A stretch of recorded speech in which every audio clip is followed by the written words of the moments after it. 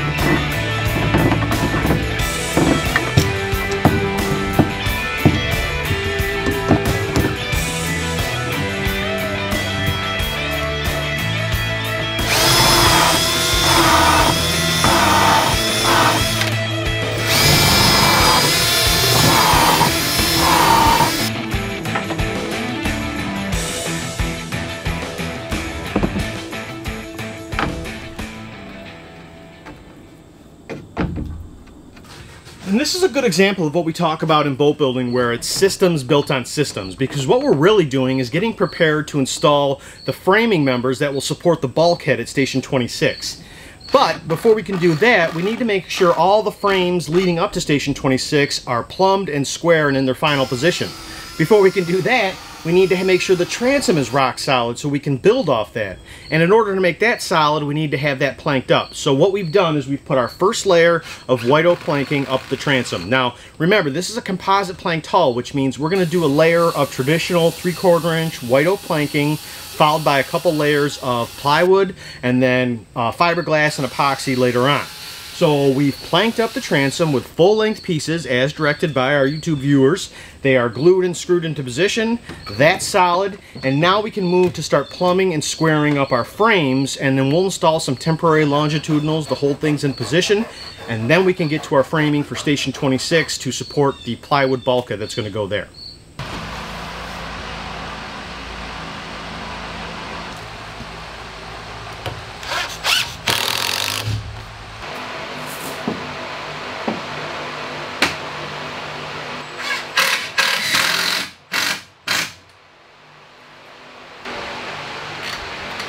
We're just using these stop blocks that we made up um, uh, the space between the frames down at the floor timbers that we already squared up. And now we just go up and make sure that all the frames maintain that same distance all the way up and then attach with these pine stringers. And really all this would be unnecessary if I would just wait and put all the frames on the keel and then we could use these stringers to be braced off the bow stem and the transom but, you know, as we stall for time for our engine room, in order to build this bulkhead at Station 26 effectively, we really need these frames to be squared up and secure. And plus, to be honest with you, it's kind of neat to see it take shape and how rigid this really is just with these little pine stringers on here. So, can't imagine what it's going to be like once we get all the uh, build stringers on and the chine and then the planking. My goodness. So we're here at our new sawmill vendor's place to check out their operation, um, hopefully get a chance to operate their mill, and it should give us a good idea what it takes to cut these large pieces of wood that we're going to need for the planking on a relatively small mill. This is a very mom and pop operation, but the customer service is outstanding. The quality of the cut and the wood is excellent, so I'm really looking forward to it. So let's go check it out.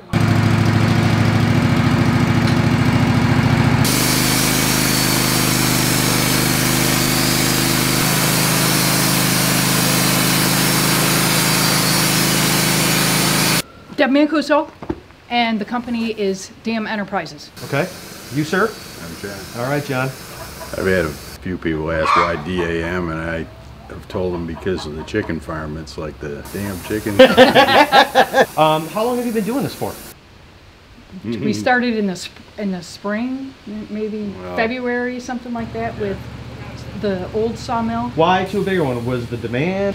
The the other one would only do a 24 inch diameter log, and just the logs that we get around the woods here, we were cutting. Squeezing to get it in. Yeah, we were always trimming with a chainsaw to get it to fit. Mm-hmm. Always been fascinated with it, and always wanted a sawmill. I never. Mm-hmm. It, finally, I, I'm there. I guess I got one. It used to it used to break my heart. Some of the we cut a lot of firewood. Oh yeah. We cut up some nice stuff that should be sawed into lumber. At least now we can do it.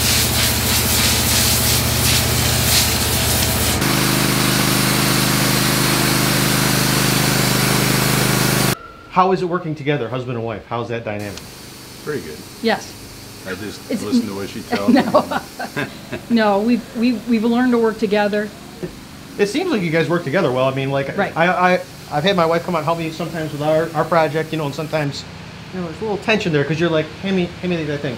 No, no, no, that thing, you know, and Yeah. it can get tense, and especially when you're trying to hustle. Right. But you guys right. seem to. Yeah, we go at it slow, and it, it takes a lot of the stress out of it. You know, and just work at it slow. And,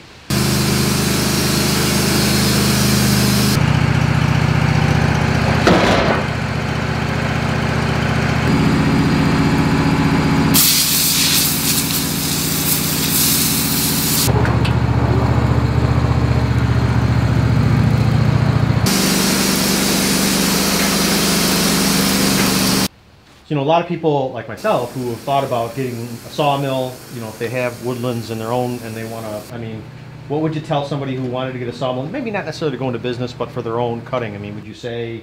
I mean, do you Go like with this? Wood-Mizer. You like that company? Oh yes. But we we also got the um, auto feed on it yeah.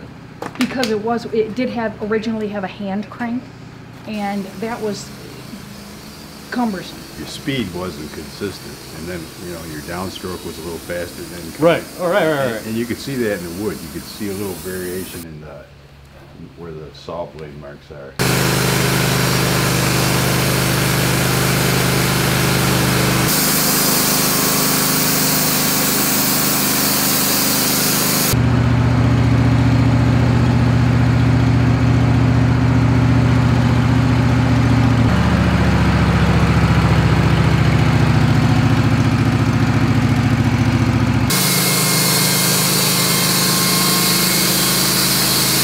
Learning curve? Because this is not just about laying a log on there and start slicing it. I mean, you are leveling, turning, um, calculating. There's you know there's math and geometry going on here. I mean, what's the learning curve to if somebody was just getting started? I mean, YouTube.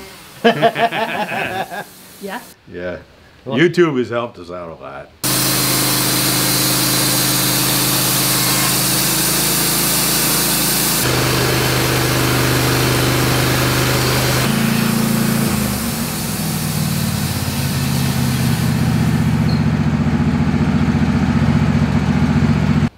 If um, if somebody wanted to get a hold of you, if they wanted to learn more about your company, to contact you, how would they get a hold of you? How would they? We're on see? Facebook, You're on Facebook.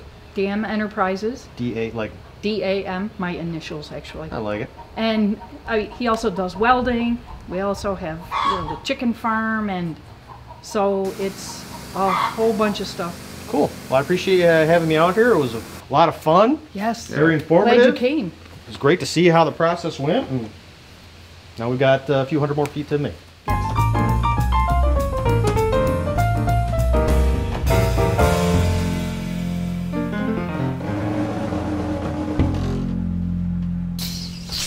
And this is the difference between woodworking and boat building. You know, in, in boat building, the plans say, you know, build a bulkhead at Station 26, but there's no real details on how to build that bulkhead. You know, it's not just a matter of slapping up a few sheets of plywood.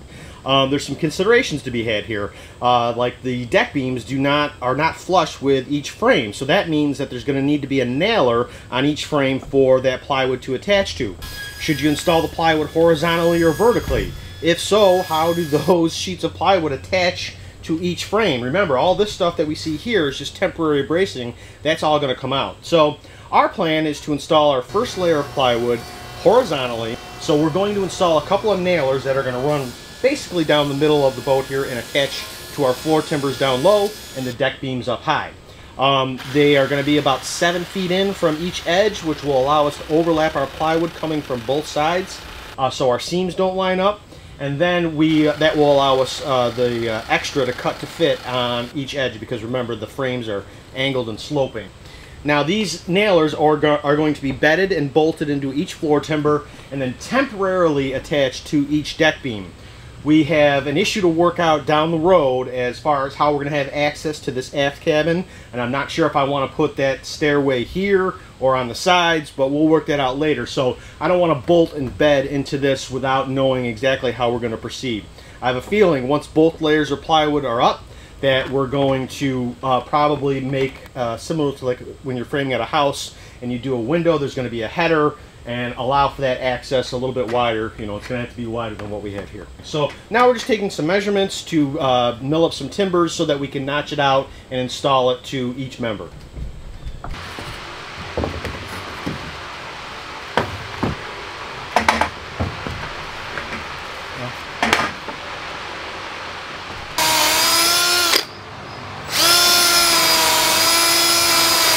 So I had to take out the temporary bracing in order to access uh, the bottom of these uh, nailers so that I could get a screw in there. And I changed my mind to a screw instead of a bolt. We're going to use those big number 14 screws because I just don't think these are big enough to drill out for like a quarter inch or 3 eighths inch, 3 eighths inch bolt. So I think a number 14 should do the trick.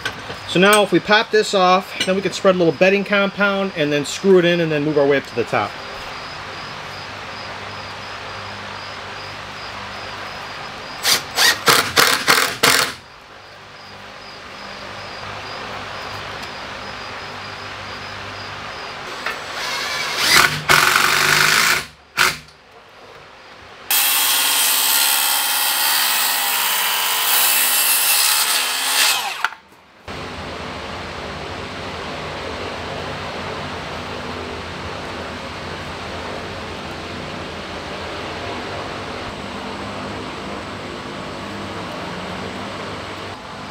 We put an unthickened coat of epoxy on each mating surface, and then we add a uh, thickened coat of epoxy, and it's thickened with silica. And the silica will help the epoxy fill any gaps that there might be, and it also adds structural strength to the adhesive.